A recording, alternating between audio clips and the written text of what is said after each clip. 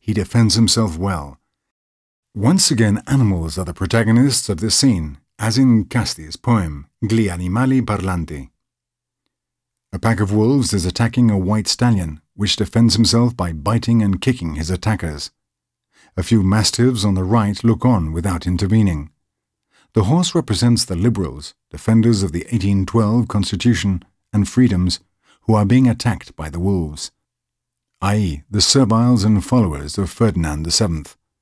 The dogs may represent the Spanish people, who are both expectant and passive in the face of this political confrontation triggered in May 1814 with the return of El Deseado, the desired, to the Spanish throne, and the persecution of the liberals.